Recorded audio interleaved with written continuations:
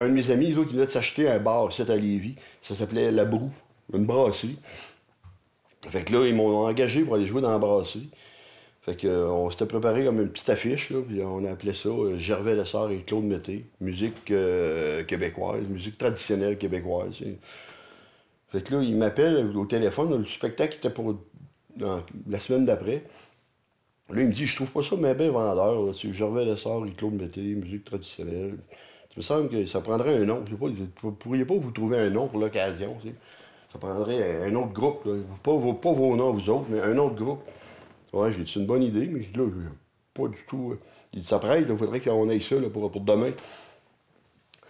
C'est que là, je sais qu'à l'époque, euh, j'étais en train d'apprendre un reel au violon qui s'appelle euh, Le rêve du diable.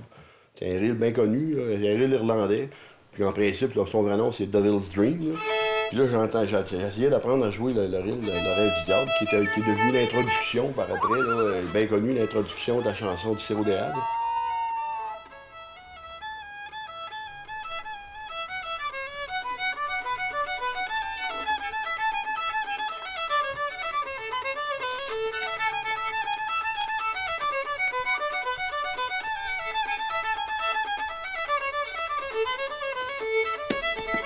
Ça, dans les années 70, c'était comme disparu, ça.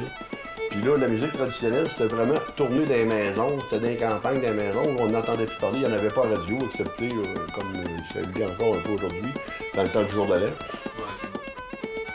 Mais euh, pour moi, c'était tout le temps là, c'est une musique qui qui ne pouvait pas disparaître. Je ne comprenais pas pourquoi c'était pas une musique qu'on écoutait à l'année. Deux, trois, quatre.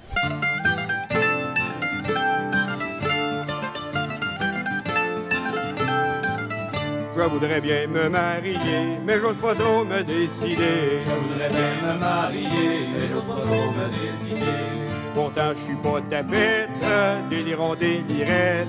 J'aime trop les fillettes, délirant, déliré. J'aime trop les fillettes, délirant, déliré. Mais j'aurais peur qu'une infirmière ne mette le cadenas sur le. Et j'aurais peur qu'une infirmière ne mette le cadenas sur le.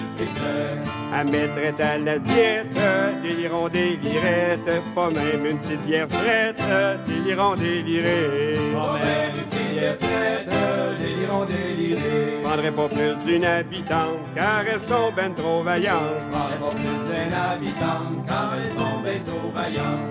Répare donc ta charrette, délirons, délirette, après va faire ta traite, délirons, déliré. Après va faire ta traite, délirons, déliré. Encore bien moins d'une avocate, là ça risquerait d'être plate. Encore bien moins d'une avocate, là ça risquerait d'être plate quand tu restes à causette, délirons, délirette, sans jamais ça s'arrête, délirons, déliré. Sans jamais ça s'arrête, délirons, déliré.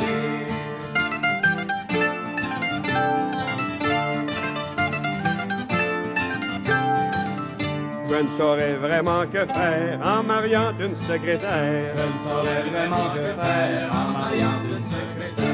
Elles font du 5 à 7, délirons, délirettes, c'est pas pour taper des lettres, délirons, délirés. C'est pas pour taper des lettres, délirons, délirés. Voudrais pas plus d'une étudiante, même si je les trouve bien charmantes. Voudrais pas plus d'une étudiante, même si je les trouve bien charmantes. Elles sont ben trop follettes, délirons, délirettes. Elles courent à gauche, à droite, délirons, délirées. Elles courent à gauche, à droite, délirons, délirées. Pour ce qui est des institutrices, pour moi c'est comme la police. Pour ce qui est des institutrices, pour moi c'est comme la police. Quand tu reviens pompette, délirons, délirette, elle joue bien de la baguette, délirons, déliré. Elle joue bien de la baguette, délirons, déliré.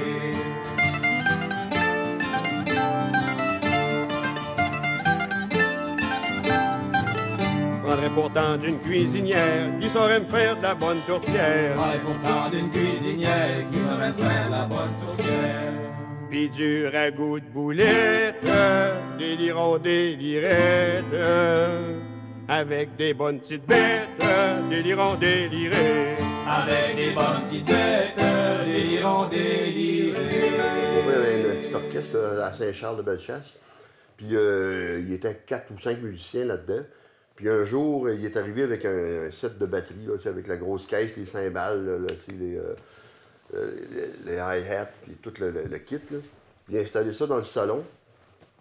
Puis là, moi, j'avais j'avais 14 ans à l'époque, j'étais tout euh, fou de voir ça. euh. Là, moi, j'étais sûr que c'était pour le nouveau joueur de batterie de l'orchestre de mon père, puis qu'il faisait une pratique. Fait que là, il, il arrivait, il m'installait le drum, tout ça. Fait que là, tu sais, mon père, il dit ce soir, on, va commencer à jouer au Jardin de Capri à Saint-Charles dans quelques temps, puis là, il dit, on va faire une pratique. Fait que là, à un moment donné, il- il- j'attendais là, le nouveau, euh, nouveau drummer de mon père, puis euh, les autres musiciens, guitare, etc. Puis là, il n'y a personne qui arrivait. Puis à un moment donné, mon père s'installe au piano, puis là, moi, j'avais commencé à m'installer là-dessus, puis j'avais commencé à, à vouloir m'amuser avec ça. Il me demandait la permission, je peux-tu l'essayer? Je dis, Ah oui, il n'y a pas de problème. Là, il s'est mis à jouer du piano, je me suis mis à l'accompagner. Puis là, j'ai dit, mais à quelle heure il va arriver, le, le drummer? Il dit, le drummer, il dit, le drummer, c'est toi. Il dit, on, on commence samedi prochain. Un jour, euh, ma soeur a dit, euh, il y a une de mes amies, son frère, il joue de la guitare. Il est très, très bon. Euh, Il joue, c'est genre du folk américain, il joue euh, du blues, des choses comme ça. Il est très, très bon. Elle a dit, euh, je fais un party chez nous, je vais, tu t'emmèneras ton violon, puis je vais l'inviter. Puis euh, tu écouteras qu'est-ce qu'il fait comme musique. J'ai sorti mon violon. Puis là, je me suis mis à jouer les rires en tapant du pied. Puis lui, il avait jamais entendu ça de sa vie. Ça a été comme, lui, ça a été comme une révélation. C'est Claude Mété, qui s'appelle. C'est avec lui que j'ai fondé le groupe La Rêve du Diable. Lui, dans ce party-là, il, euh, il a pris sa guitare. Puis là, il a, trouvé les accords. Il a, pas eu de misère en l'espace de quelques minutes. Il a, comme compris tout de suite la, structure de, la, musique traditionnelle québécoise. Il a trouvé la, façon de jouer ça. Ça s'est fait d'une façon miraculeuse. Puis là, c'est là que j'ai décidé qu'on faisait un petit duo. On commençait à faire de la musique traditionnelle ensemble. C'est avec Gervais que j'ai découvert dans les années 70 l'univers vaste et insoupçonné pour moi de la tradition musicale d'ici.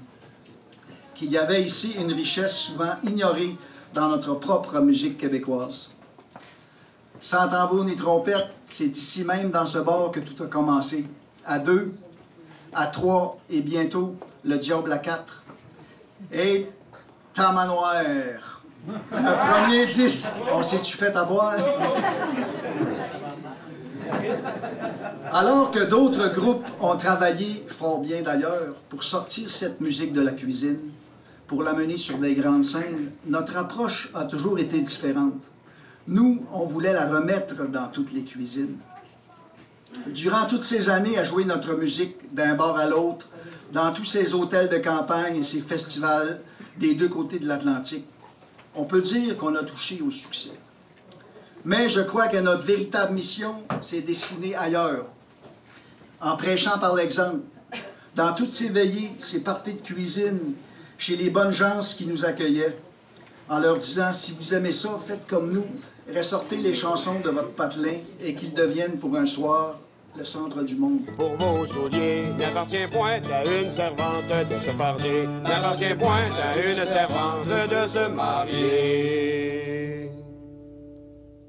Plutôt porté à chanter des vieilles chansons qui chantent euh, avec, euh, qui prennent du coffre, un peu de volume, que je peux me permettre de. Je suis pas de me retenir quand je chante. Il faut que je chante fort. Qu'il y a des chansons qui se prêtent à ça. Faut que je choisis ces chansons-là. On aime beaucoup des chansons comiques. C'est mon père et ma mère qui me forcent à travailler. C'est mon père et ma mère qui me forcent à travailler. Que diriez-vous la belle que de me marier? Puis j'ai fait. Puis j'ai dit, oh, j'ai dit, voyons, regardez, laisse-moi les partir. J'ai dit, voyons, regardez, laisse-moi les partir. Que la belle que de? Comment, en, quoi- en, en peu de temps, vous avez trouvé une maison de disques? Oh, c'est nous autres qui nous ont assez trouvés, on n'a même pas eu besoin de chercher. À un moment donné, on s'est mis à jouer à 4 au bord élite pour le même fameux salaire. là. Ils n'ont pas eu d'autres parce qu'on a rentré un quatrième musicien, là, ils nous ont pas augmenté de salaire. là. L'autre, on jouait à 60$ piastres par soir. Puis euh, à 4, à 3, ça nous faisait 20$ piastres chaque. Là, à 4, ça nous, on baissait à 15. Il a, il a juste rajouté 3 bières de plus.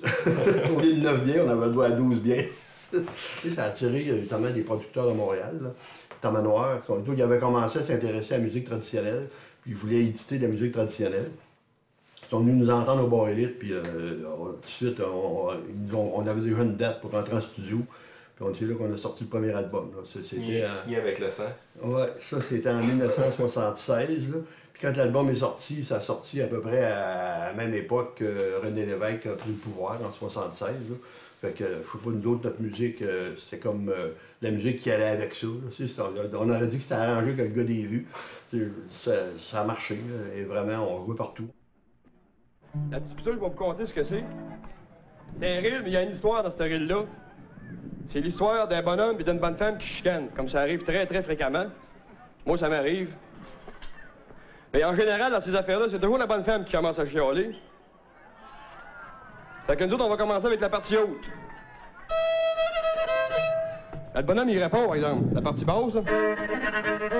Mais nous autres, on finit toujours le reel, sa partie basse. Le bonhomme qui a le dernier mot. Vous allez voir ce que ça donne. Ça, on fait ça spécialement pour l'année de la femme. hein. Le... C'est le premier album, 1976. Combien d'exemplaires Ah, celui-là, je ne veux pas de chiffre exact, là, mais euh, chose certaine, euh, ça dépasse largement les 150 000. là, euh, parce que je sais que dans les années 80, à un moment donné, on nous, avait sorti qu'il y en avait eu presque 100 000 de vendus. Dans le temps, on vendait des vinyles. ça marchait. Mais euh, ça ne veut pas dire qu'on faisait de l'argent. Il y en a qui en ont fait, sûrement. Le nom, de- le nom peut-être marqué dedans. Mais moi, non, moi, j'en ai pas fait. Premier album. Deuxième, c'est en 76, j'ai dit. Lui, il est sorti euh, l'année d'après, en 77, euh, qui s'appelait Rivière jaune. Alors, euh, c'est la raison pour laquelle la pochette euh, est verte. Hein? C'est très logique. Et puis voilà, c'était le, rêve du diable. c'était pas à Bay Road, c'était chemin de campagne dans le bout d'Arma. Jean-Pierre Lachance, qui était guitariste, demeurait dans, dans Bellechasse, demeure encore là aujourd'hui. Et on avait été prendre la photo là, dans son coin. euh, On traversait euh, de- un rang, là, un- à côté de. Alors, c'est- une idée qu'on avait eue. Voilà, les trois personnages du rêve du diable à l'époque, en 77. Y a-tu quelque chose euh, dans tes disques que tu, qui, qui t'a inspiré particulièrement? Ou, euh, Il appelait ça L'oncle la démarre et les princes du folklore. Puis c'est sur cette chanson-là que j'avais pris Donden Lariden. C'est sur l'album de L'oncle la démarre. J'avais changé l'air, puis j'avais accéléré un peu la vitesse. En tout cas, j'ai fait quelques transformations. C'est, L'air euh, original, c'était. L'air, origi- à original, c'est euh, Par un beau dimanche soir, en allant me promener, par un beau dimanche soir, en allant me promener, j'ai rencontré la belle, je lui ai demandé, Dondenne la ridenne, ma tapatali matou, ma tantalou, mali matou, ma tapatali matou, ma tantalou, la ridée, ça c'est l'air original que j'ai changé pour euh, ce que vous connaissez, là. Par un beau dimanche au soir, en allant me promener. Par un beau dimanche au soir, en allant me promener, j'ai rencontré la belle, je lui ai demandé. La ridenne, ma la.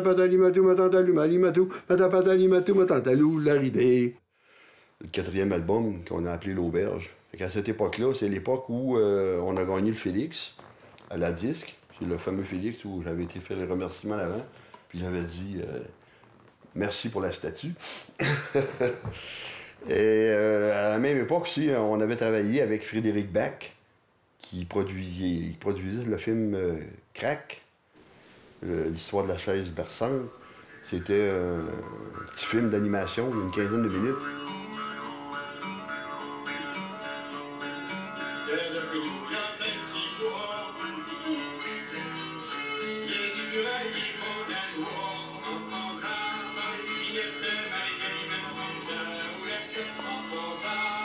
Fait, on était chanceux de pouvoir participer à ça.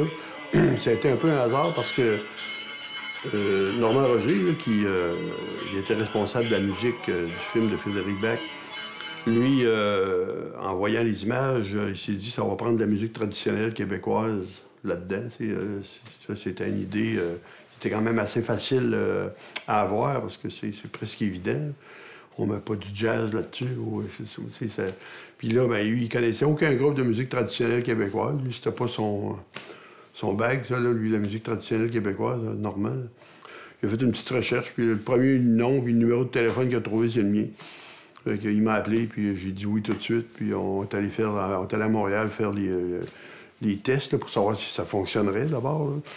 Pas, euh, le contrat n'était pas signé d'avance. Euh, dès la première rencontre, ils ont dit ah, ça va être parfait, ça va être très beau. Puis le mandat s'est développé de plus en plus. Comme là, la, chanson que j'interprète au début du film, ça, c'était pas vraiment prévu. C'était comme juste la musique qui était prévue là au départ. Puis là, ben, je sais pas, en discutant, à un moment donné, on s'est dit euh, peut-être qu'il y aurait moyen de mettre des paroles qui pourraient aller avec les images qu'on voit là. Puis là, c'est moi qui ai eu l'idée de prendre la chanson Derrière chez nous, il y a, Derrière chez nous, il y a un champ de poids. Puis de transformer ça en Derrière chez nous, il y a un petit bois. Puis là, ben, tout ça mis ensemble avec le, le- le génie de Frédéric Bach, puis euh, combiné à celui de, de Normand Roger aussi, je dirais. Ça, ça a donné euh, ce, ce film. Puis, euh, Un Oscar. Ouais, un Oscar. Puis euh, la preuve que c'était pas un Oscar gagné par hasard, c'est que euh, quelques années plus tard, quatre ou cinq ans plus tard, Frédéric Bach a gagné un autre Oscar avec euh, L'homme qui plantait des arbres. Alors, euh, l'œuvre de Frédéric euh, d'après moi, est immortelle. J'ai entendu des belles choses là, au sujet de Frédéric Bach. hein, qui, des gens qui regardent ces images, on le compare facilement à un grand peintre impressionniste. c'est, comme on pourrait dire, du, du Monet ou quelque chose comme ça.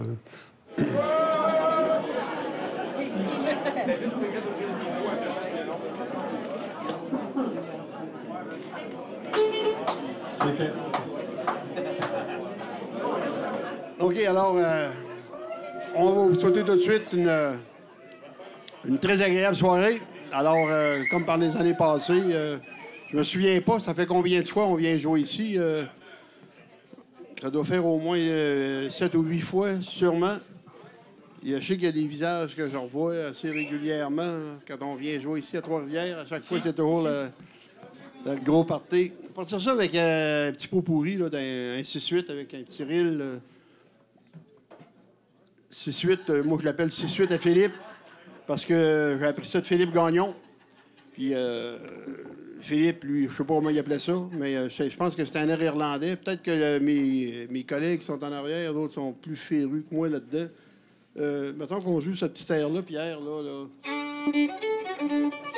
Moi aussi, je l'appelle le petit 6-8 à Philippe On, Gagnon. va- on va l'appeler de Et même. moi, je l'appelle le 6-8 André Alain.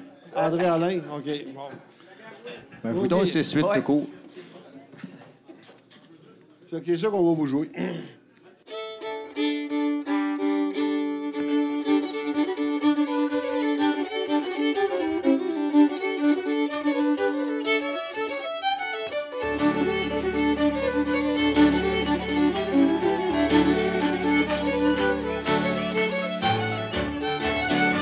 J'avais l'habitude de répondre, on, on, pourquoi, vous avez dit, pourquoi vous vous appelez le rêve Je disais, ben là, c'est pas de notre faute, les Beatles, c'était déjà pris.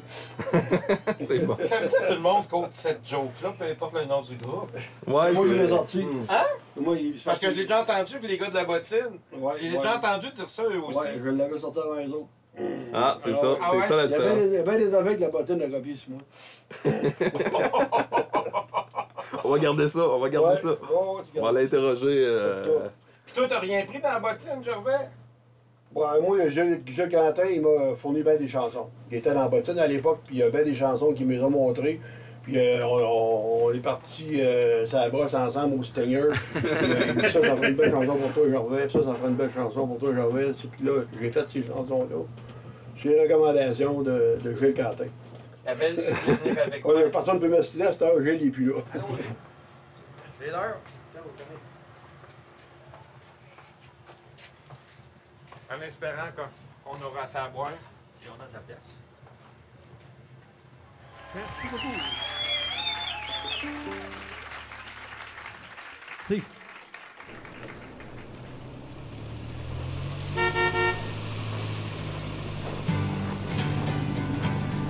On est parti de Gaspésie pour visiter des amis. On est parti de Gaspésie pour visiter des amis. On voulait voir le carnaval, c'était bien. Puis faire partie du festival pour boire un petit brin. Dans le comté de Matapédia, ça commence à déjà. Le de ça commence à déjà. Le whisky nous gagnait pas mal, c'était bien. Le voyage était tout un bal, ça buvait un brin. On a manqué de fortifiant en arrivant à Valbriand. On a manqué de fortifiant en arrivant à Valbriand. On n'avait pas d'autre chose à faire, c'était bien, qu'à continuer avec la bière pour boire un petit brin. En arrivant à Rimouski, on avait sauf les amis. En arrivant à Rimouski, on avait sauf les amis. Drôle de coïncidence qui était bien. On est en face de l'évidence, il faut boire un brin. On n'est pas des mauvais garçons, mais en face de la commission. On n'est pas des mauvais garçons, mais en face de la commission. On est venus les deux pieds de croche qui étaient bien. On a mis la main dans nos poches pour boire un petit brin. Comment vous êtes rencontrés? Comment on s'est recon- Comment vous, rencontrés? avez comment vous êtes allés à faire la musique? Ah, ici, ici, ici. Ouais, nous autres, on s'est. euh, On, on buvait au même bar. Moi, j'ai commencé à venir ici en 1975, quand je suis déménagé à Lauson. Et puis, euh, ben, j'avais déjà, t'as déjà client ici depuis un petit bout, toi, je pense. ben, moi, j'ai été client depuis l'ouverture du bar aussi. euh. Le clin, ça vient d'où? Le clin, euh, ouais, c'est le clin, ça, ça vient de. C'est un surnom que j'avais déjà eu, euh, que j'avais eu d'ailleurs ici. Ici même, à l'impartie d'Halloween, je m'étais déguisé en, en pauvre calice, tu sais. J'avais un oreiller, des, des overalls avec un oreiller en avant puis un oreiller en arrière. Puis la face beurrée avec de la suie de mon poil, assez foncé noir, puis une culotte, puis des grosses lunettes. Puis ce temps-là, je suis petit clin. Petit clin, prends-tu le train? Non, je me prends le cul, ça mène moins de train. C'est sûr que j'en connaissais des chansons, euh, je connaissais cette musique-là, euh, j'avais trempé dedans un peu, mais quand Gervais s'était mis à chanter, un moment donné, dans le coin là-bas, là, là j'étais embarqué, j'ai chanté quelques chansons aussi. C'est là, je pense qu'on avait pas mal. euh, En fait, toi, quand t'es rentré dans le Rêve du Diable, on avait déjà euh, quelques albums de fête. Là, euh. Oui, oui, oui, oui. Il y avait déjà Ouais, quatre on- albums de ouais, fête. c'est ça. Lors puis d'autres choses aussi que je peux pas vous nommer, dont Dan la ridenne, matapatali matou, matantalou, malimatou, matapatali matou, matantalou, la ridée. Dont Dan la ridenne, matapatali matou, matantalou, malimatou, matapatali matou, matantalou, la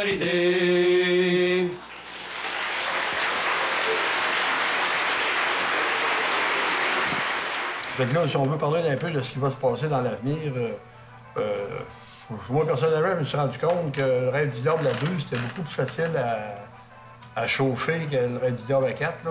Tu, peux, euh, tu peux jouer pour un public de 40-50 personnes quand t'es deux. Là. Quand t'es 4, tu prends moitié de la, place, puis en plus, ils n'ont pas le cachet pour te payer. C'est comme compliqué. Puis au niveau musical aussi, quand on est juste deux, c'est plus facile, je trouve, euh, d'élargir nos horizons musicaux. Parce que je sais que nous autres, euh, on aime ça faire de la musique, euh, sortir un petit peu des, du chemin étroit de la musique traditionnelle. Je veux dire, on, vient de là, on, vient de là, mais par contre, on vient d'ailleurs aussi. je veux dire, on est du monde, on fait partie de notre génération. le folklore, c'est bien important pour nous, mais c'est c'est un peu dommage, des fois, de se faire encarcaner là-dedans. Puis, Au lieu euh, des années, on jouait plus souvent en France qu'ici. ben, ben là, c'était surtout euh, dans les années 80, fin des années Ouais. 80, je dirais, mettons, à partir de 84, 85, aller jusqu'au début des années 90, 90. ouais. là. Après ça, ça, ça Euh, ici. C'était euh, vraiment, vraiment euh, creux.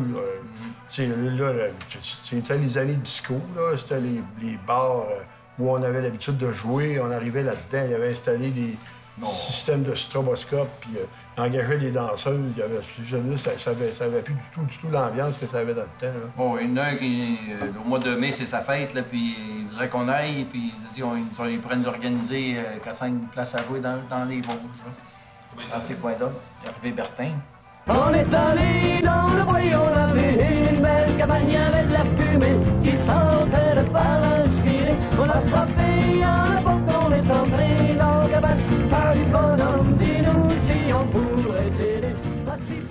En fait, c'était un membre de Garlambic dont le frère avait volé un album du Rêve du Diable. En fait, il avait volé euh, cet album-là qui était distribué en France. Chacun des disques, des albums qu'ils ont fait, ont toujours repris des, euh, des chansons de- du Rêve du Diable. sortir de mon texte parce que ça risque d'être encore plus long.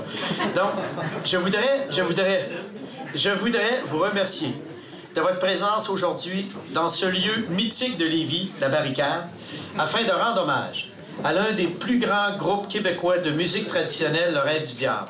C'est à travers la musique et les histoires des gens racontées et transmises aux plus jeunes qu'on reconnaît la force, la volonté de survivre et l'identité d'un peuple.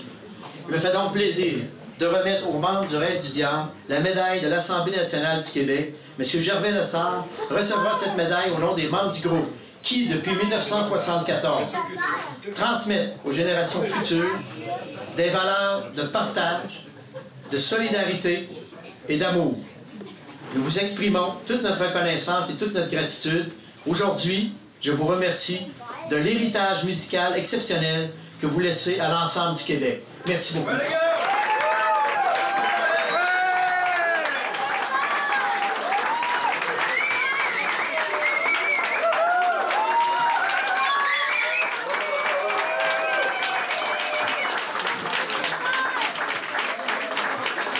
Ça fait immensément plaisir de se retrouver ici ce soir avec toutes les,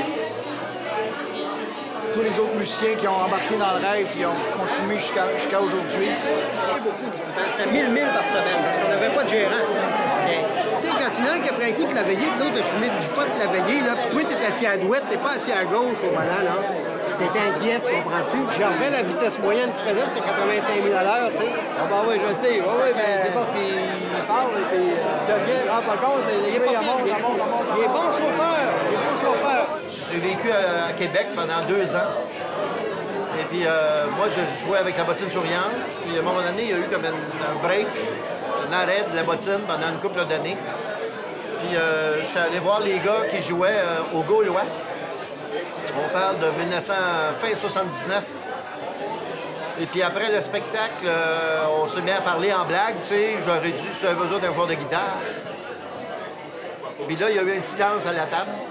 Sur la force des choses, je me retrouve sur un album du Rêve du Diable qui s'appelle Des Lyres des Rilles, qu'on a fait euh, en, en 1980. à cause de la place, j'avais un peu peur que ça soit trop petit. Et finalement, euh, ça a bien du bon sens. euh, C'est tassé un peu, mais c'est raisonnable. C'est moins diabolique que je pensais. Allez-vous jouer un peu euh, sur scène? Oh, oh, oui, c'est prévu, mais ça va être comme, euh, comme j'ai dit aux gars, ça va être euh, de façon très très libre. là. Les gars vont aller jouer si ça le tente, puis ça va être un petit groupe de 3-4.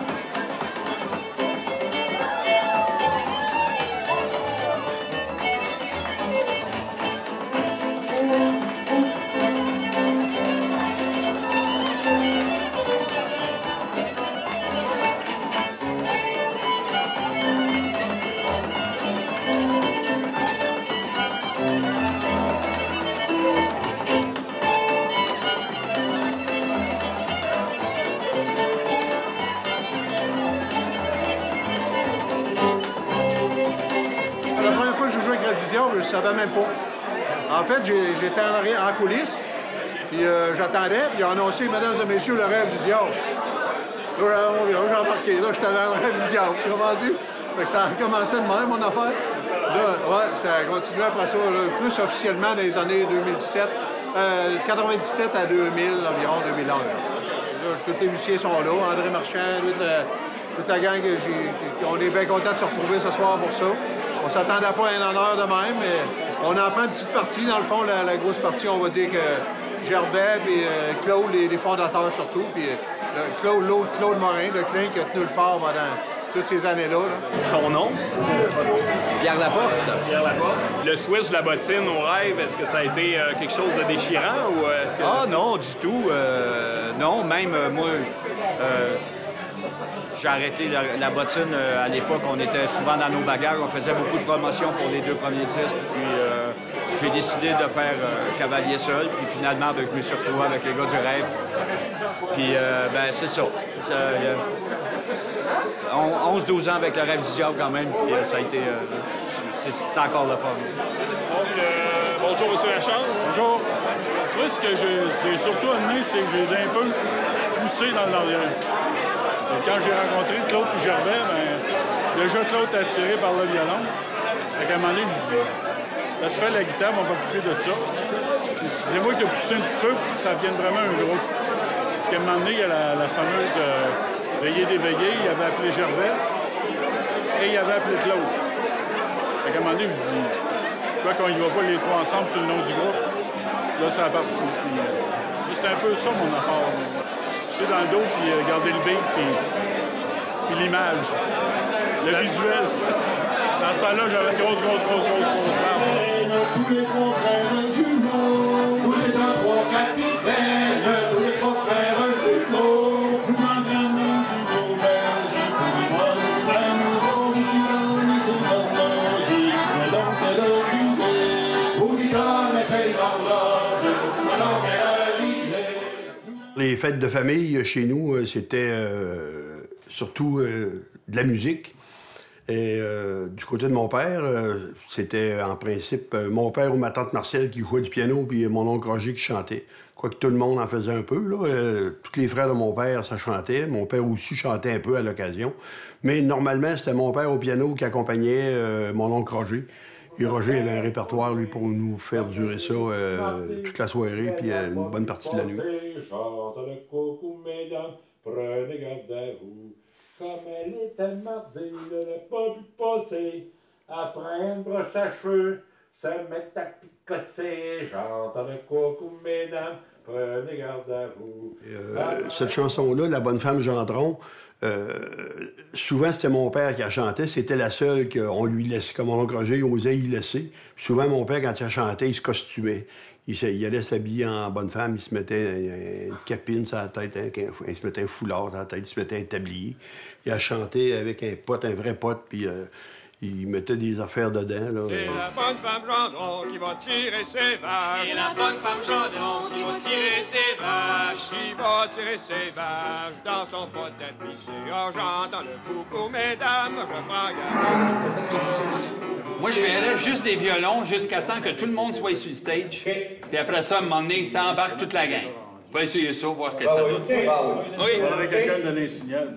Mon nom, ben, c'est Michel Faubert. Alors, euh, ici à l'Anglicane de Lévis, ce soir, ben, j'ai fait la mise en scène euh, du spectacle des euh, retrouvailles, en guillemets, du rêve du diable. Euh, Dix hommes endiablés. J'adore le titre, d'ailleurs, qui est de Georget. Dix hommes endiablés, ce qui les représente très bien. Alors, voilà. Le rêve du diable, mon Dieu Seigneur, je pense qu'il y a plein d'affaires qui sont fondamentales pour moi, qui sont importantes pour moi dans la vie que j'aurais pas faites s'il n'y avait pas eu le rêve du diable. Ça a commencé, j'étais ado. Ça fait que euh, le rêve venait de sortir son premier album, on parle de 75 à peu près. Puis il y avait une, émission à, Radio-Canada, à la télévision, Les Beaux Dimanches, ça s'appelait. C'était dans le créneau de, horaire de Tout le monde en parle.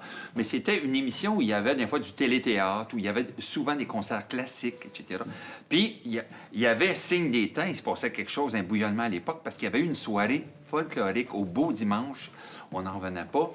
Et puis, euh, je, regardais, euh, je regardais la télévision, puis là, j'avais vu, il y avait Philippe Gagnon, Dominique Tremblay, il y avait Joe Bouchard de l'île d'Orléans qui jouait du violon au beau dimanche. Et puis, il y avait Le rêve du diable. Ils avaient joué le le- la pièce titre, Le rêve du diable, et Le sirop d'érable, chanté par Jean-Pierre euh, Lachance. C'est comme si j'avais reçu l'éclair sur moi.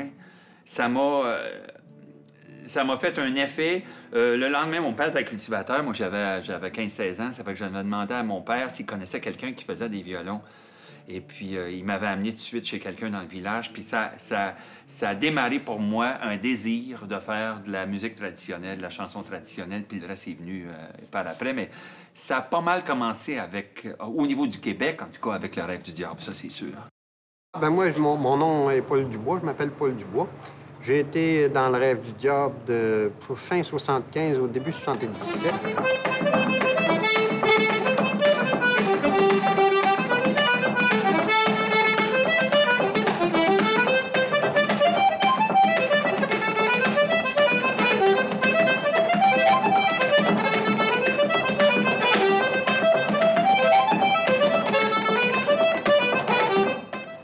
Maintenant, la part du rêve du diable dans la musique traditionnelle, je dirais peut-être dans la société québécoise, c'est, plus sociologique que musical. Parce que vous savez, il y, a, beaucoup de bons musiciens maintenant, mais il ne faut pas euh, négliger qu'il y en avait beaucoup de bons à l'époque aussi. Mais sauf que ces musiciens-là se cachaient dans des cuisines. Nous autres, ce qui se faisait dans les cuisines, on l'a mis sur la scène. Puis on a dit, c'est beau les Beatles, c'est beau les Beach Boys, mais écoutez, on a de la belle musique aussi, qui peut se faire en, en écoutant. Pas seulement que pour danser, puis le dimanche après la messe dans la cuisine. là. C'est un gros défi. Un gros, gros défi. Ben, on, on- ça se place, là. Oui, oui, oui, ça se place. Ça sonne bien quand même. Pour 10 personnes qui n'ont jamais joué tout, tout ensemble. Ben, on, a- on est en train de faire une... euh, On, on recoue du temps ensemble, là. Mon nom, c'est Daniel Roy. Je suis euh, dans le rêve du diable. En tout cas, j'ai fait un, bout de chemin avec eux euh, pendant peut-être les six dernières années ou tout ça. Mais j'ai été aussi sonorisateur du groupe. Ça, c'est... On s'approche des années 79. En 1979, euh, je sais pas pour quelle raison, mais le hasard nous a mis sur le même chemin. Je restais avec André Marchand, puis une gang de Joliette en haut de la tabagie Giguère. Puis euh, c'est vraiment euh, particulier de se retrouver toute la gang, aussi parce que nous autres, on fait du folklore. Euh, on n'est pas, euh, comment dire, dans un mouvement trad ici. On est plus proche d'un- d'une autre culture euh, plus ancienne, si on veut. Quand je dis culture plus ancienne, à notre époque, il y avait d'autres choses. Gervais a été élevé dans la culture de danse quand il était jeune. Les autres, il y en a quelques-uns qui ont joué dans Bottine souriante, qui ont joué dans d'autres affaires. Puis on, on a vieilli un petit peu. Puis là, on se retrouve avec des chansons, puis de la musique qu'on entend beaucoup moins. Puis ça me fait vraiment du bien. Les deux jours qu'on vient de passer, là, Bon. c'est ça qui est plus fatigant. Le show, tout ça. D'après moi, c'est pour ça qu'il est. C'est la première pratique officielle du diable. tu me disais ça. Ouais.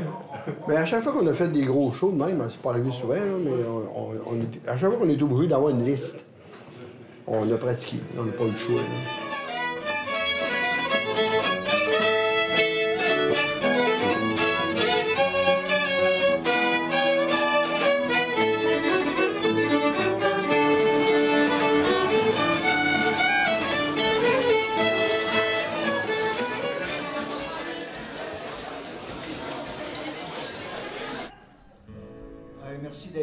De.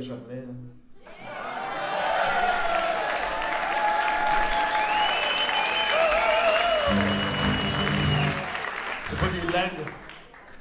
C'est pas des blagues. J'ai reçu, euh, il y a cinq ou six mois de ça, j'ai reçu une lettre euh, du gouvernement fédéral.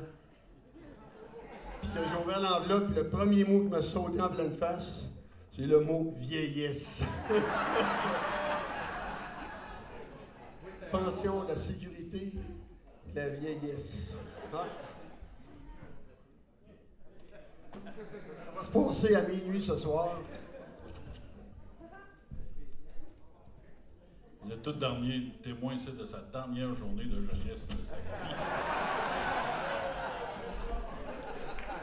C'est quelque chose.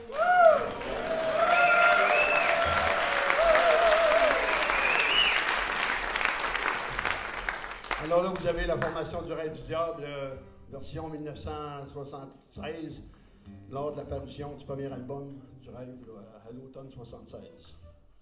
On continue avec des chansons de. des chansons de bûcheron, hein, comme tu dirais. Moi, ça? Avec quoi qu'on enchaîne ça? Avec quoi qu'on enchaîne ça? C'est ça?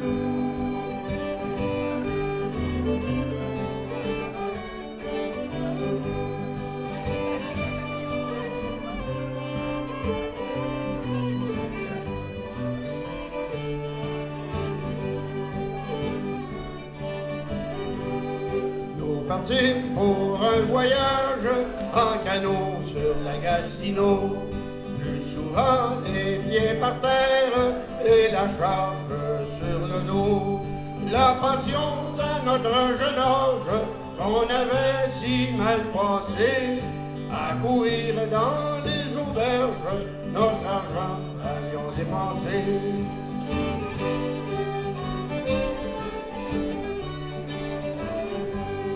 Quand nous fûmes des sur ces rives de la grande lac Michel, il est patient, il fait bien ça.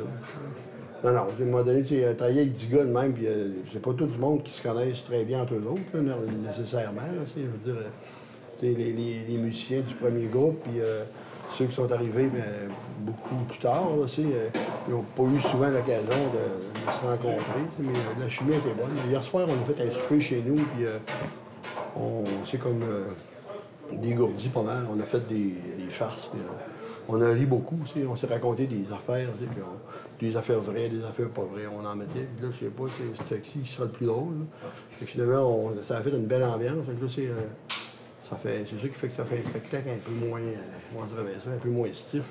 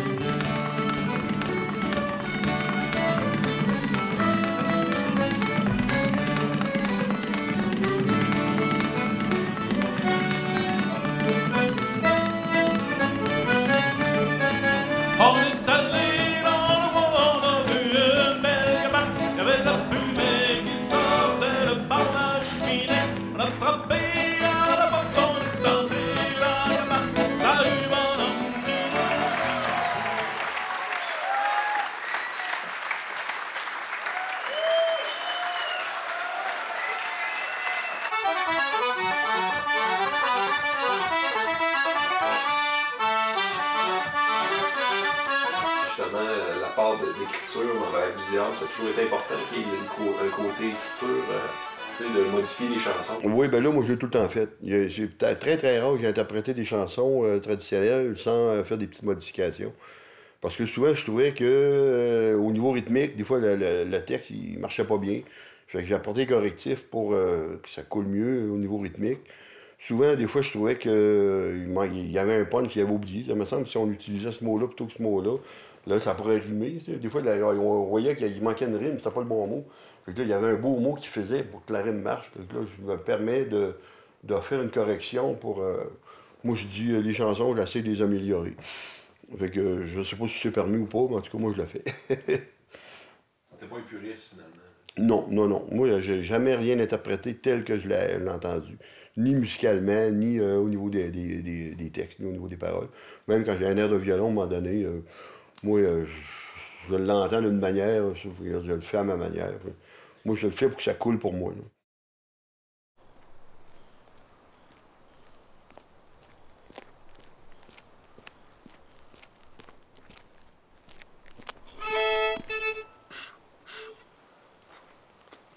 J'ai beaucoup de chansons à boire dans mon répertoire.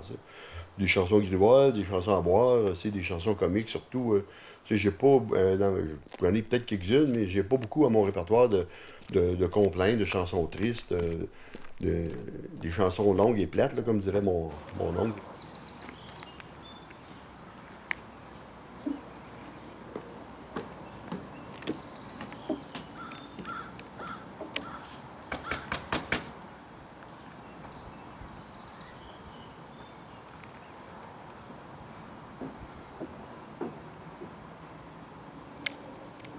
quand tu chantes, ben faut que faut pas juste écouter le son. tu sais, euh, Il y a une image qui va avec la chanson. Cette image-là est importante aussi.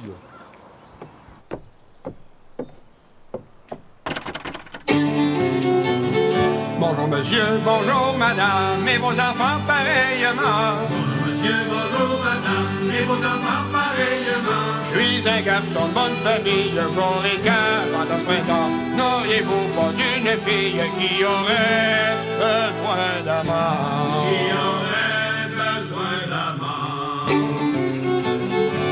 Monsieur, elle est couchée, je m'en vais aller la réveiller. Monsieur, elle est couchée, je m'en vais aller la réveiller. Laissez-lui mettre sa jupe, son mantelet, son blanc corset. Vous lui verrez la figure, vous verrez Calvin Galère.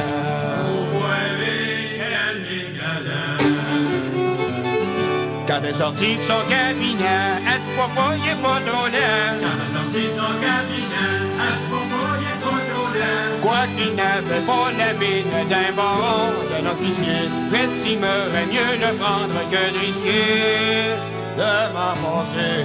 Que de risquer de m'en passer. Ils ont laissé toi de planter, c'était pour mieux se complimenter. Ils ont laissé toi planter,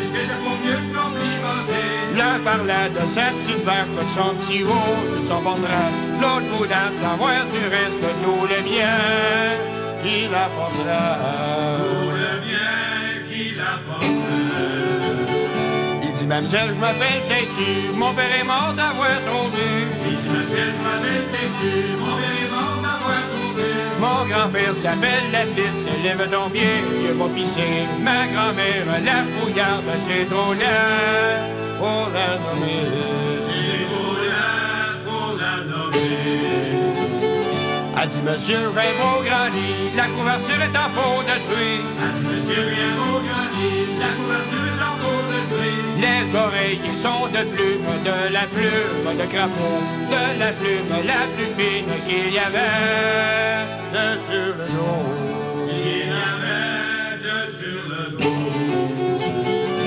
Mademoiselle, j'ai un petit poulain qui a eu six jours à la Saint-Martin. Il un petit à la. Avec ma belle attelage, mon buggy et mon certier, on se promènera à la semaine, je pense. Bien qu'on va s'arranger.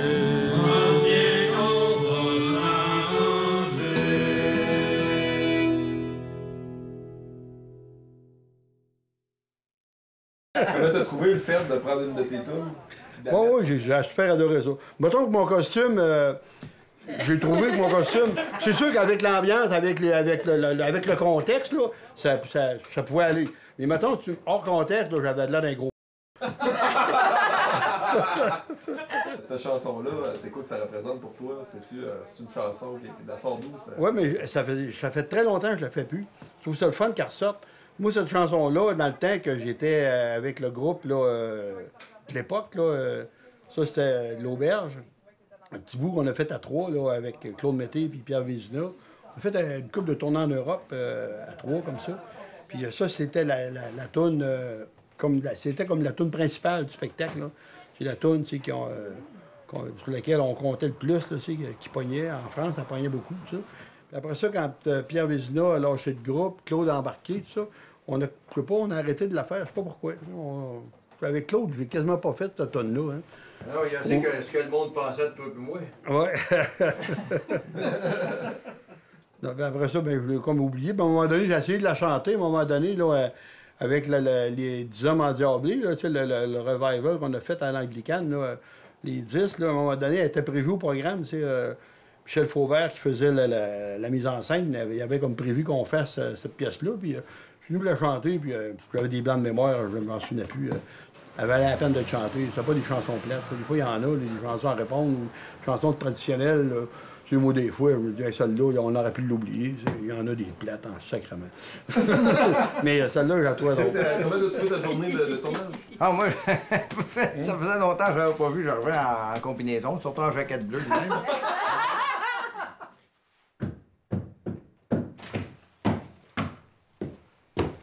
Bonjour, bonjour. Bonjour!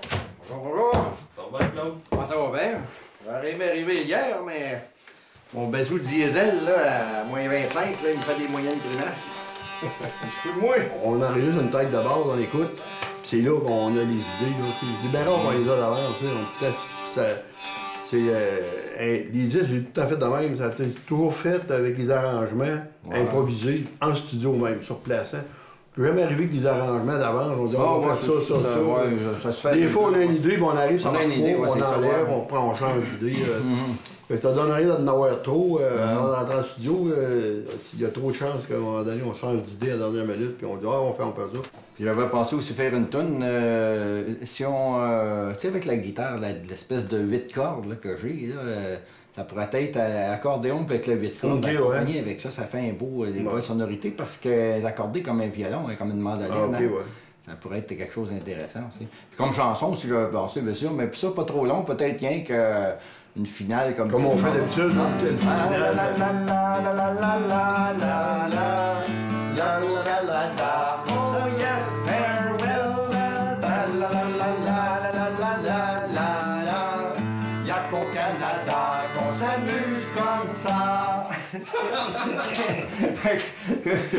Là, j'avais pensé le, soit mais de faire des couplets comme des, des, des choses euh, absurdes un peu qui se passent dans les provinces. Oui, on, parle de Vancouver, on peut parler de, de, partout au Canada, puis on peut finir, on pourrait faire toute une chanson, ben on ferait une petite finale avec ça. Bon, ouais. Parce que tu sais, quand tu fais euh, un CD comme ça, euh, tu fais un, un disque, tu mets 12, 12 tonnes là-dessus, euh, entre 12 et 15 tonnes à peu près, maximum. là.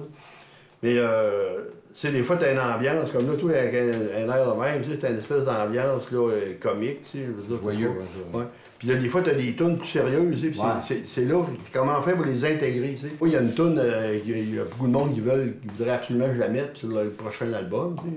Puis je l'ai jamais faite en spectacle. tu sais. C'est- Moi, c'est une tune que j'ai faite euh, au funérailles de mon père. tu sais. C'est une chanson que je parle à mon père. tu sais. Mais c'est une espèce de complainte. là. C'est pas sérieux, sérieux, parce qu'il y a des bouts de comique dedans. là. Mais euh, ça. euh, Ça ressemble à quoi? c'est. Euh, je sais pas dans quel ton je la faisais. Là. Ouais, c'est le- Ta-da-da-da-da-da.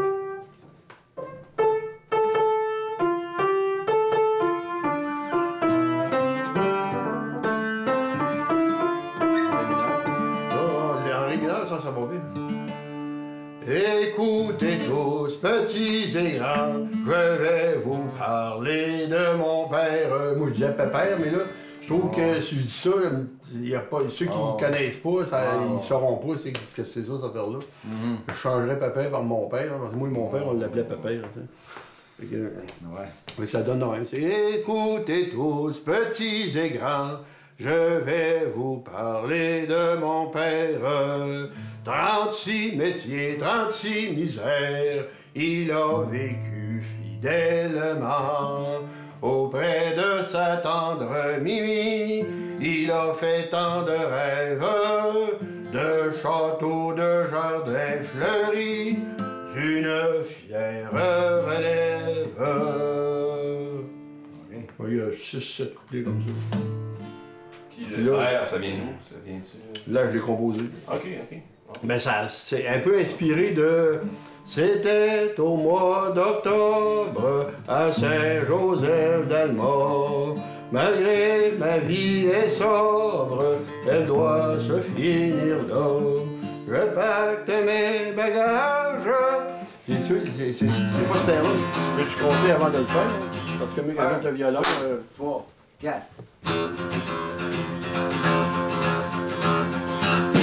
À toutes les belles places où qu'on voit de l'eau et plein d'oiseaux, il y a toujours des rapaces qui veulent faire construire des condos.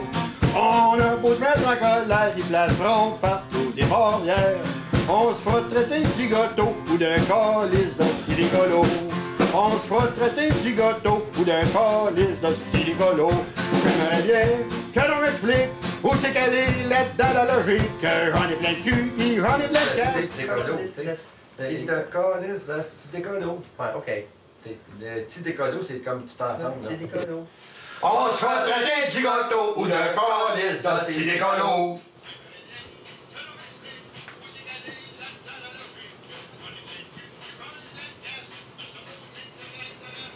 J'en ai plein le cul, puis j'en ai plein le casse de ce maudite gang de la passe. Qu'est-ce que vous faites là, Ok, présentement? ben là, c'est ça. Euh...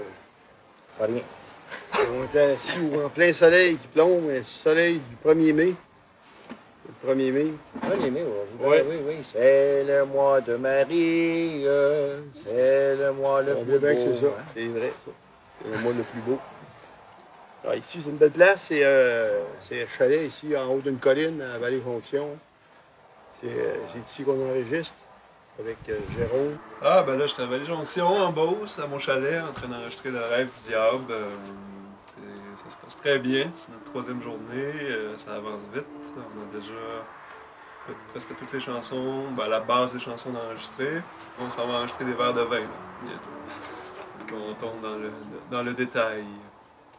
Écoute, ils ont des histoires à plus finir, là. C'est-tu long de travailler avec eux autres? Hein? À cause des histoires, c'est plus long que d'habitude? ou? Ouais, on parle plus qu'on joue de musique que non. Non, mais les... c'est ça qui est drôle, hein. C'est la vieille école, c'est comme bon, deux, deux prises ou trois euh, maximum. Bon, c'est ça. Puis souvent, mais ça se passe dans ces deux, trois prises-là aussi. C'est pas. euh, Le Jean-Guy, le frère de Claude, est venu nous jouer de la batterie. Puis là, il y a deux ou trois chansons où on pense sérieusement c'est à mettre euh, de la trompette. Alors, on a euh, un ami particulièrement à Montréal, ou on a peut-être quelques autres aussi. En tout cas, on va essayer de se trouver quelqu'un qui serait intéressé, qui aurait le temps de nous mettre euh, des notes de trompette là, dans le- dans l'album. Et puis, ben, là, finalement, on cherchait un titre. On s'est dit, bon, on ne cherchera pas trop trop longtemps. On pourrait appeler ça Avec tambour et trompette. C'est simple que ça. On n'aime pas ça, les choses compliquées.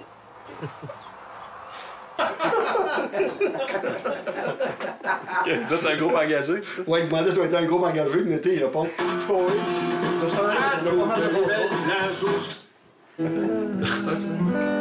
Et du texte? Oui, c'est ça. Moi, ben, là, assez pas mal, mais là, je veux pas être sûr de pas me, de pas manquer mon coup, parce que moi, de l'avoir devant moi, ça va être plus sécuritaire. Les vieilles chansons françaises, il Dans le grand égout, sous la Bastille, tous les rats étaient réunis pour fêter la fête en famille, boulotter les ramassis. L'on s'était divisé par groupe, en tête marchaient les chefs de troupe, les uns s'en venaient en sapin, les autres par le métropolitain.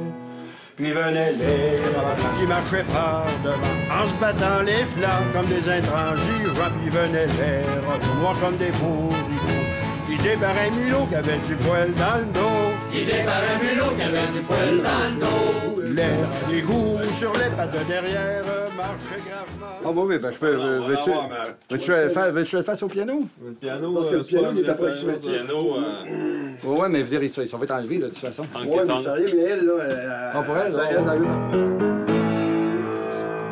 Donne-moi donc la note de départ de voix. Mon... Euh, c'est ça, l'album du Rêve du Diable qui s'en vient à l'automne, euh, on avait des petites choses à compléter. Puis euh, plus particulièrement, c'était de, dans quelques-unes de nos tunes, c'était de rajouter la, la, la voix de, de Mara. Alors, c'est fait, ça a très bien été. Ça s'est passé même en presque moins d'une heure. très bien, on ne s'attendait pas à avoir de problème. là. Ça, fait que finalement, il n'y en a pas eu. On avait pensé à, à Mara pour ça parce que en fait, Mara, on la connaît depuis longtemps. Moi, je l'ai connue à l'époque où elle chantait dans les, les chan- elle chantait des chansons de la Bolduc euh, dans le groupe Les, les Maringouins. À un moment donné, on a appris qu'elle chantait une tune qu'elle avait probablement appris sur un album du Reste du Diable. pas probablement, clairement pris ça. Non, non, je- je- C'est Fred Fortin qui m'a fait entendre cette chanson-là. Il m'a sorti le vinyle, il m'a fait entendre la tune. Puis je suis vraiment tombée sur le cul. Je suis tombée en amour raide avec la chanson, puis on n'a pas eu le choix de la faire. Puis on... Elle était pas en duo, par exemple. Nous autres, on l'a on l'a virée en duo. Puis c'est encore aujourd'hui une des chansons qu'on me demande le plus. Ah mais oui? je suis seule. Ah bon? Fait que je la fais pas toute seule. Puis puis je la joue pas à la guitare. Fait que je, je la joue pas, mais je l'ai rejouée. Puis je l'ai rejouée, mais à qui mieux mieux, là. Avec tout le monde, c'est le duo que, que je fais le plus. C'est une autre à l'époque, c'est Claude Betté qui a chanté. Là. Juste, c'est une chanson qu'il avait pris, lui, de. Ça venait de Nouvelle-Écosse. C'est- Ça avait Joseph été. Euh, c'est Joseph Larade. tu sais, C'est des chansons qui avaient été recueillies par euh, le père Anselme Chiasson, un jésuite qui a fait beaucoup de collectage dans ce coin-là. Qui est mort Puis, il y a euh, d'à peine deux ans, à peu près, ouais. près de 100 ans. là. Il y a- il y a- Ouais. L'air que moi je connaissais au départ, il n'y a personne qui chante ça, cette air-là. c'est c'est mon air finalement qui est rendu populaire. Ah, ça, on l'a chanté avec les colocs longtemps. Je l'ai fait sur scène deux, deux ans avec le- les colocs ouais. Moi, j'avais lu un article à un moment donné, c'était une entrevue que- qu'il avait faite. Dédé. Dédé. Oui, Dédé Fortin, il avait fait une entrevue. J'ai perdu, la- j'avais découpé l'article, je l'ai perdu. Puis là, dans cet article-là, il parlait de des, euh, il nommait des, des- des personnes qui l'avaient influencé quand il était jeune pour euh, qui l'avaient emmené à chanter. Puis euh, dans cette liste de personnes-là, il me nommait. Yeah. Fait que euh, j'avais été très ému de, de voir ça. Je me suis dit, un jour, je vais le rencontrer, puis je vais lui proposer quelque chose. Puis euh, finalement, j'ai trop attendu. Là, il est trop tard maintenant. J'étais déjà en amour à ce moment-là. Fait que j'ai tiens, j'ai dit, tant qu'à avoir de la musique, je vais mettre des paroles dessus. Puis les paroles, j'ai pas eu de misère à les faire parce que ça raconte exactement comment ça s'est passé. C'est quand j'ai rencontré, quand Jocelyne dans la barricade, c'est euh, elle-même qui m'a dit euh, pense que je ressens quelque chose pour toi. Wow! Puis là, j'ai dit. Ouais, c'est euh, bon, pareil, ça. C'est une belle phrase, ça. Ouais. Fait que là, j'ai dit, Olivier, amène de la bière, je pense qu'il se passe quelque chose ici. Peux-tu m'enlever la trompette, s'il te plaît?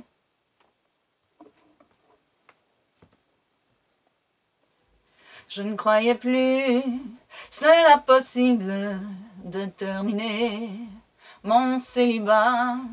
Ma vie était plutôt paisible. Mon cœur n'était pas au combat. Il n'a fallu qu'elle me dise Je pense que je ressens quelque chose pour toi. Et plus tard, j'ai fait la bise. Je n'ai plus dormi. Alors voilà, c'est le petit dernier. Euh, ça, euh, ça va paraître euh, tout très bientôt. On va l'avoir, euh, heureusement, on va être capable de l'avoir euh, en magasin. Parce que euh, normalement, les, euh, les albums du Rêve du actuellement sont assez rares dans les magasins. Ceux qui en veulent, ben, il faut qu'ils fassent des recherches. là. Je pense qu'il faut qu'ils se trouvent des vieux vinyles dans des magasins de disques usagés, des choses comme ça. On a un distributeur qui s'appelle Outside Music. C'est une compagnie de distribution ontarienne qui travaille beaucoup au Québec actuellement aussi. Les contrats avec des grosses compagnies pour la distribution puis la production, en tant que coproducteur, j'ai l'impression que le dernier album, ça a été euh, Délire et Déril. Et puis après ça, quand on a fait l'auberge, ben, on l'a produit nous autres mêmes avec notre, propre petite compagnie qu'on appelait Mordicus à l'époque. Après ça, quand on a fait euh, avec Cholestérol, quand j'étais en duo avec Claude euh, Morin, ça, on l'a produit nous autres mêmes avec notre argent à nous. On n'a même pas emprunté d'argent. euh, je pense que c'est de la famille qui nous a baqués, on, on a remis l'argent, on a produit le disque nous autres mêmes. Et les derniers, c'était la même chose. là. Même celui-là, euh, je l'ai produit moi-même. J'ai trouvé l'argent, j'ai trouvé euh, cinq ou six euh, personnes qui m'ont aidé, puis moi, je vais leur remettre l'argent d'ici un an. Pour ce qu'on appelle le- la pochette telle qu'elle, alors c'est un de mes amis, Jean-Claude Légaré, qui est artiste peintre, qui nous a gracieusement fait la pochette. Alors lui, il nous a fait une fresque d'un gros party euh, où il y a plein de monde. Et là, euh, on a pris un petit, euh, un petit détail de ce dessin-là, qui illustrait très bien le- ce qui, plusieurs des chansons qui sont sur l'album. Puis à l'âge de 14 ans, à un moment donné, je me suis défini dans la vie, je me suis situé. Puis aujourd'hui, je suis rendu à 65 ans, ça fait déjà 51 ans de ça. J'ai pas changé. Je suis resté exactement comme je m'étais défini à l'âge de 14 ans. J'ai pas bronché. Je suis resté vraiment fidèle à moi-même. C'était trois affaires. C'est que j'étais indépendantiste, séparatiste, nationaliste, appelle ça comme tu veux. Ça, c'était ça. Deux, j'étais de gauche. Puis trois, j'étais athée. J'ai jamais fait de discours politique, moi.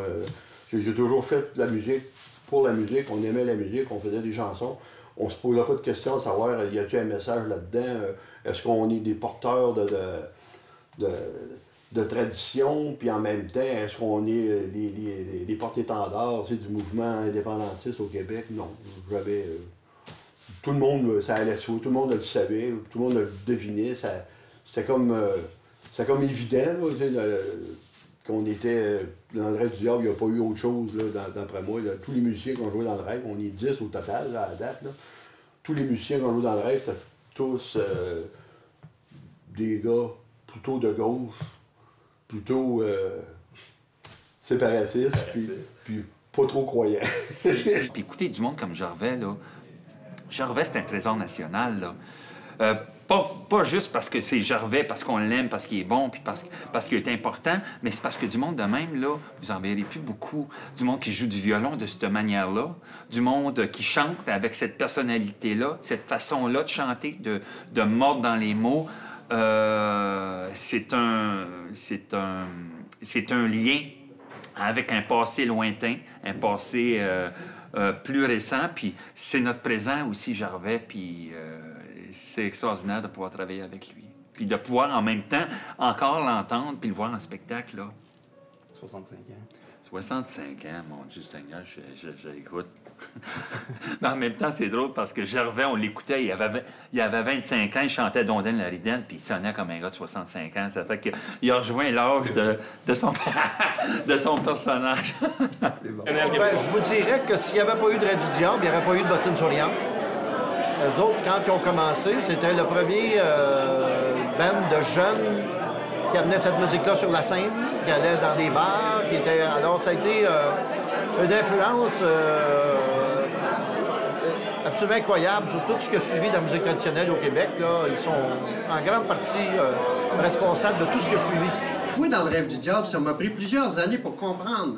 J'ai d'ailleurs écrit Jean-Pierre là-dessus. Ça m'a pris des années pour comprendre l'importance du rêve du diable. J'ai compris cette journée-là que Gervais, c'était pas juste un gars qui jouait du violon. C'était ce qu'on pourrait appeler un violonneux stylisé dans le sens que c'est pas un violonneux, c'est l'idée qui donne d'un violonneux.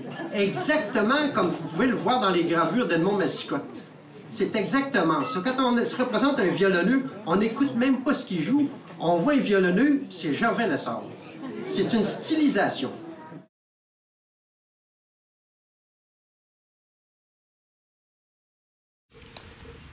Fait que, euh, moi, ça fait loin. Hein. C'est dans, le temps qu'on était jeune, euh, beau et jeune. Hein? Oui.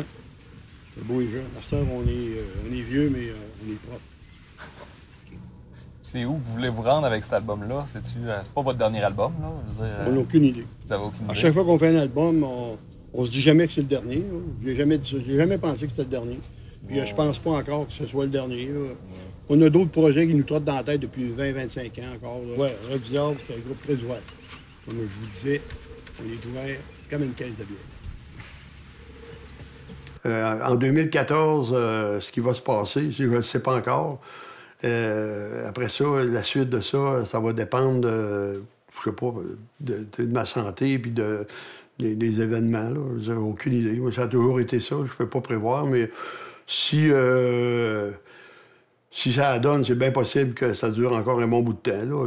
C'est sûr que moi, j'ai 66 ans maintenant. Là. Si je suis capable de faire de la musique jusqu'à 90 ans, j'en ferai jusqu'à 90 ans. Là. Euh, que ça fasse le bonheur ou pas des autres.